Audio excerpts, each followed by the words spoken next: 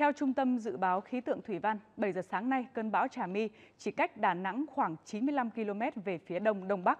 Bão đang di chuyển khá nhanh theo hướng Tây, tốc độ khoảng 20 km trên một giờ. Dự báo chiều nay bão sẽ đổ bộ đất liền các tỉnh từ Quảng Bình đến Quảng Nam và tiếp tục suy yếu. Vì thế, ngày và đêm nay là đỉnh điểm mưa lớn, gió giật mạnh.